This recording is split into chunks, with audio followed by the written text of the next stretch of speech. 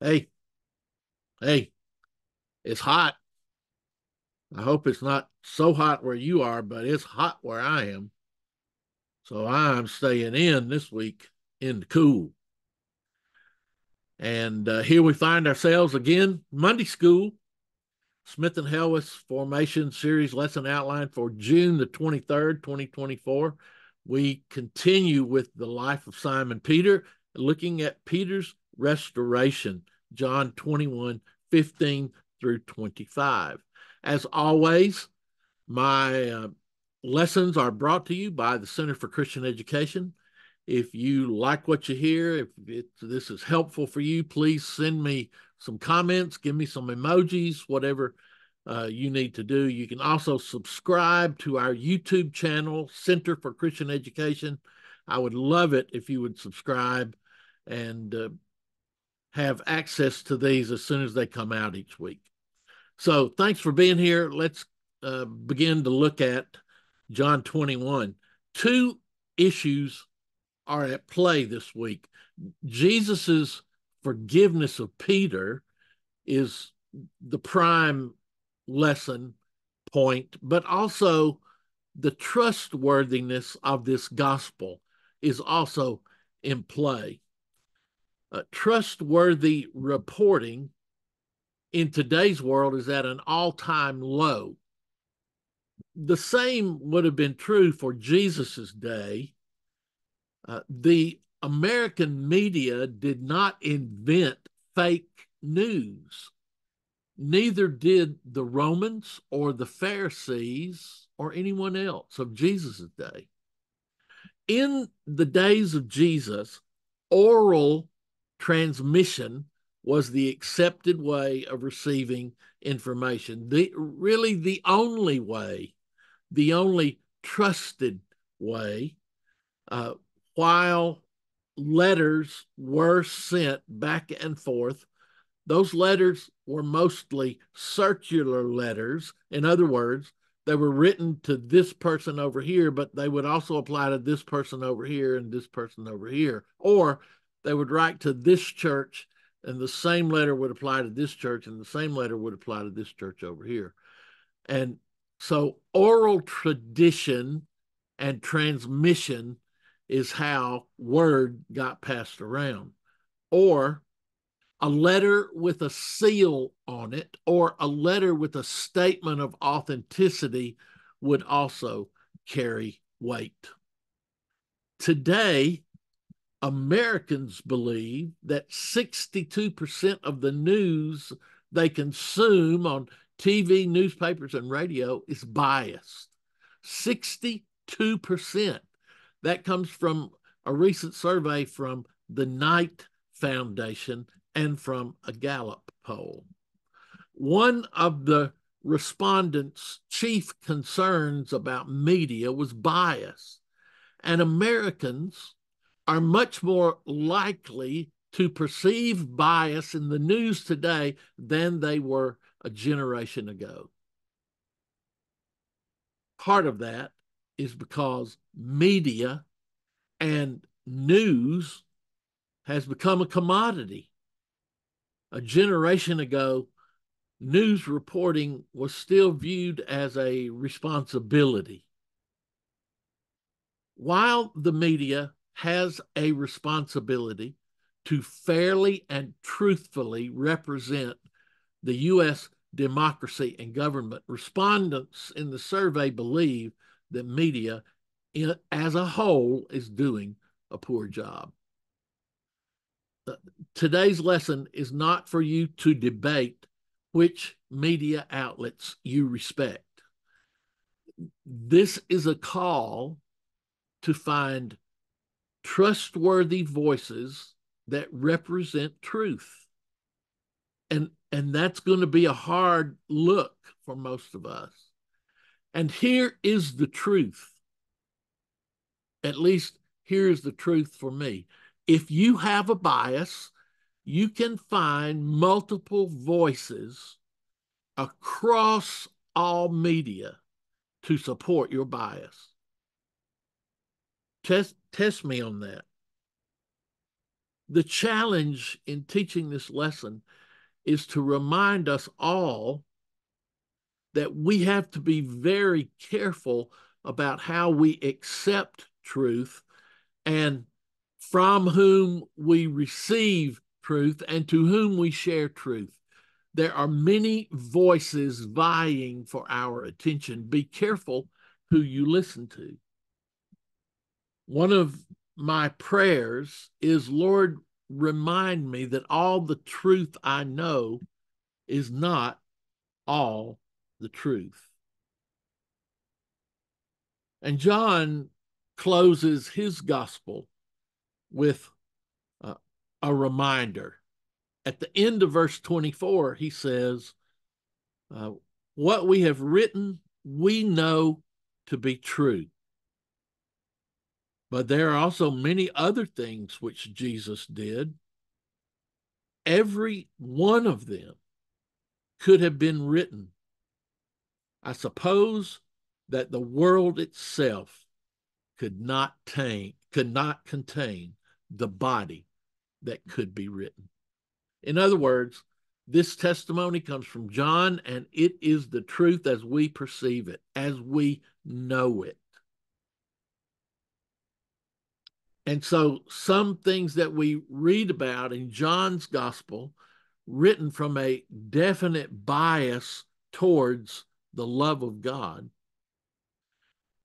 some of the things that John writes about might be slightly different when picked up by one of the other gospels and might be totally different in some respects.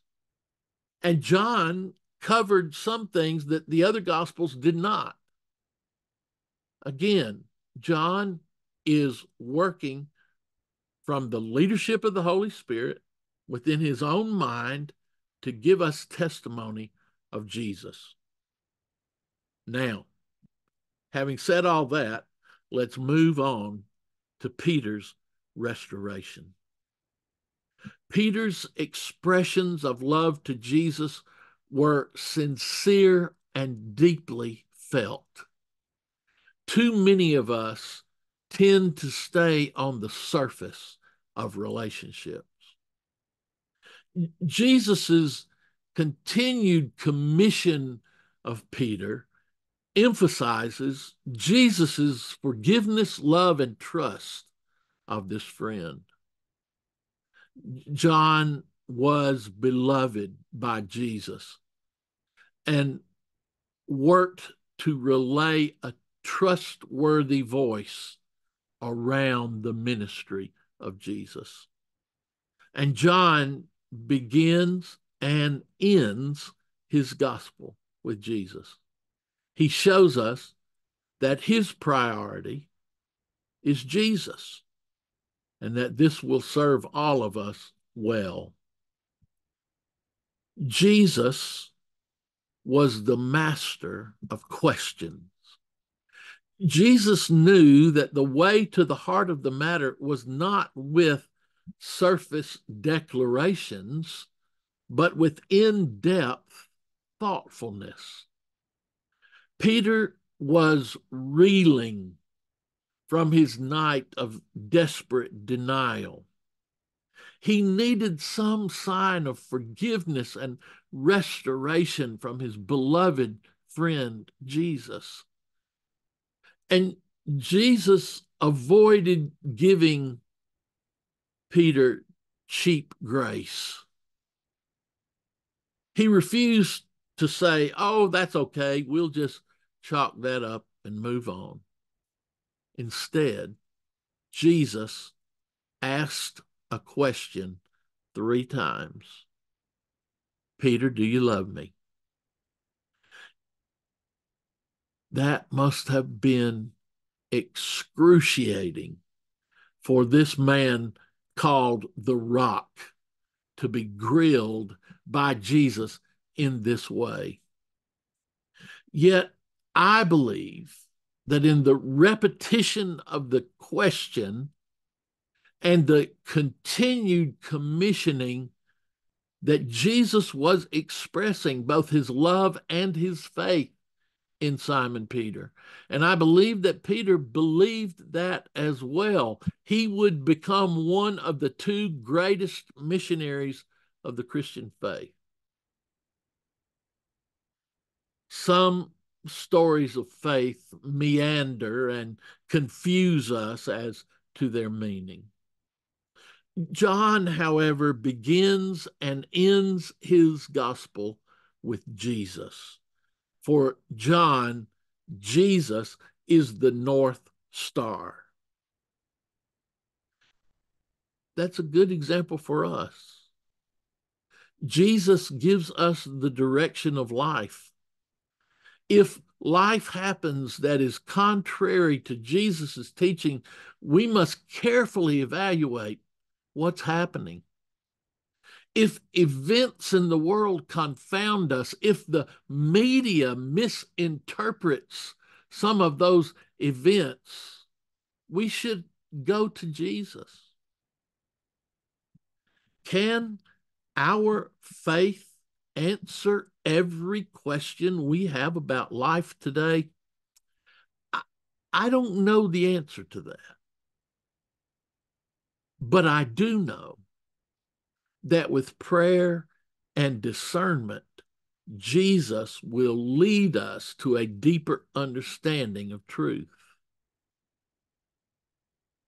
And discerning this truth just might set us free. It worked for Simon Peter. It worked for John and hopefully it works for us. And in today's world, that's good news. Good news indeed.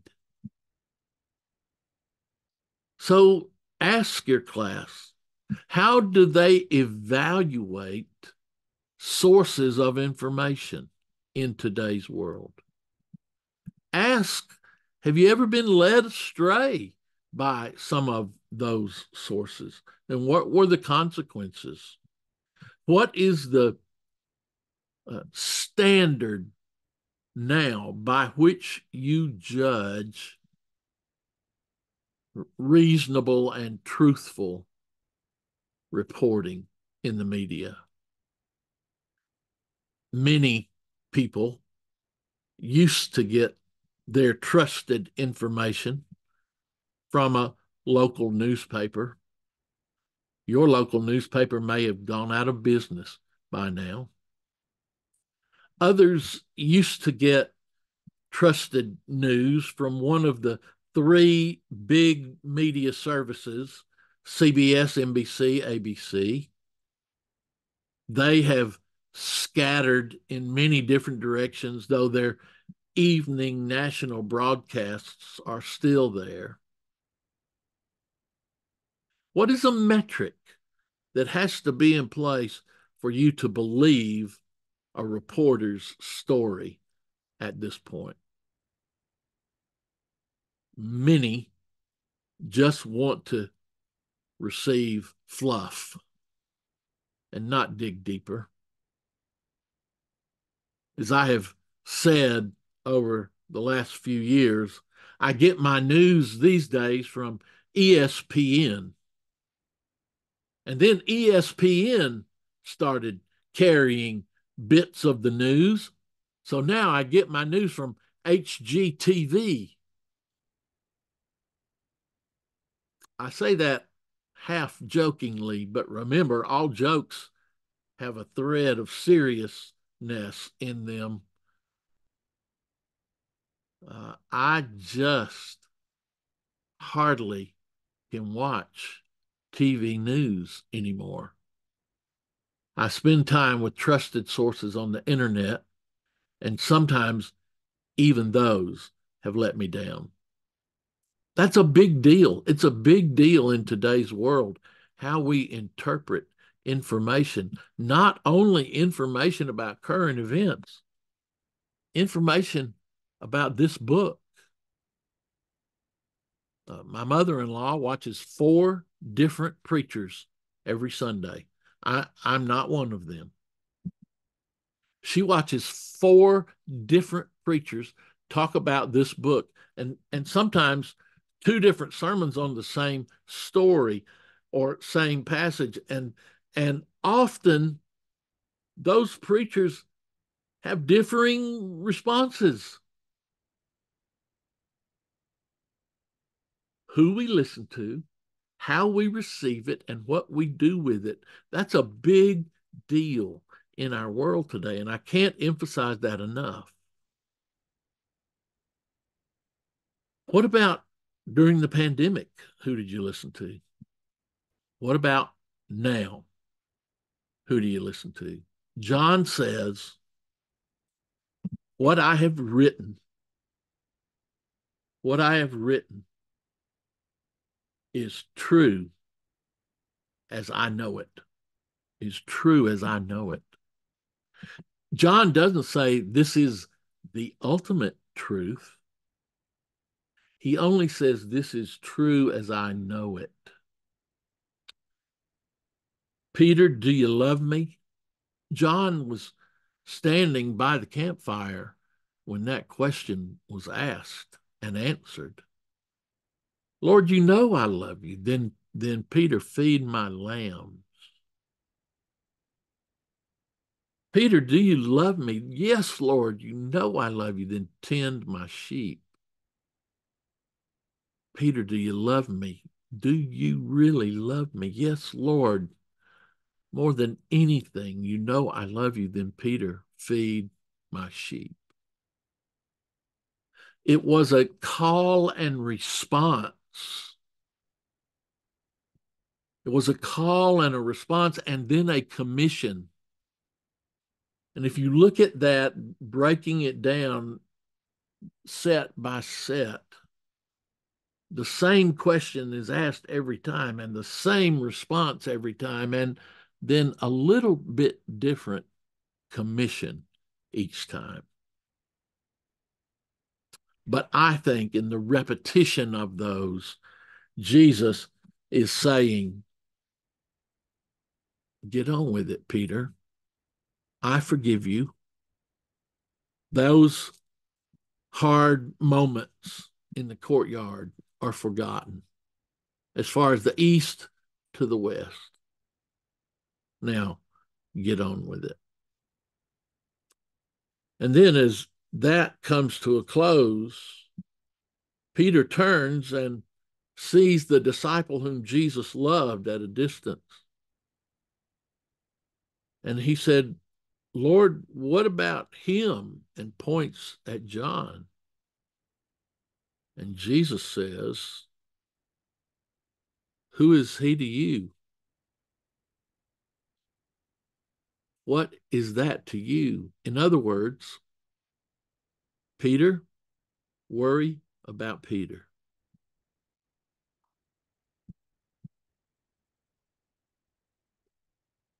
We we get caught up in so many things we get caught up in so many things. Is this right? Is this acceptable? Is this true? Is this good? And those questions bombard us over and over and over again. And Jesus was the master of questions. And Jesus asked us as he asked Simon Peter, do you love me? That's really that's really the only question, don't you think? That's really at least the central question. Prosser, do you love me? Yes, Lord, you know I love you. Then quit watching Netflix and feed my sheep. Wait a minute now, Lord. I, I don't know about that. Prosser, do you love me? Yes, Lord, you know I love you. Then quit watching the Atlanta Braves baseball team so much and feed my sheep. Wait a minute. Lord, do you know what you're asking, Prosser? Do you love me? Yes, yes, Lord, I love you. Then feed my sheep. Jesus continues to drill down until our excuses are exhausted and all we have left is obedience. That's what I like about Jesus. That's what I love about Jesus. Rarely is there condemnation. More often than not, there is love and acceptance. And we see that here. A man upon which Jesus has said, I'm going to build my church on this kind of man. On, on that man, I will build my church. And yet, Peter lied, fell short of the glory of God. You ever lied? Have I ever lied? Prosser, do you love me? Yes, Lord. Yes, Lord. And that's that's really all there is. And that's really all we need. If we love the Lord, then love the Lord with all your heart, all your soul, all your mind, and love your neighbor as much as you love yourself. It it really is that simple and that complex.